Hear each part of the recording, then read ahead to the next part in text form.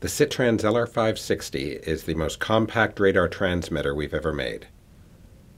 All of the electronics for the Sitrans LR560 are contained within this module.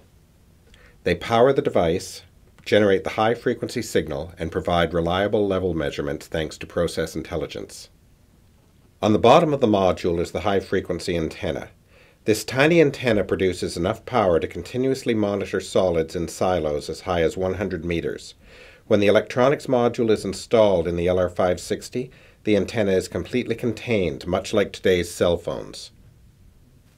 On the top of the electronics module is the wiring terminal. The Sitrans LR560 is a two-wire device. All of the power and communications comes through these two wires. The LR560 is available in either HART, Foundation Fieldbus, or Profibus PA communications protocols.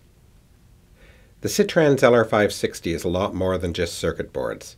We've added a lot of innovation to give you the most advanced solids radar transmitter on the market. My name is Alan Aslett, and I made the Sitrans LR560.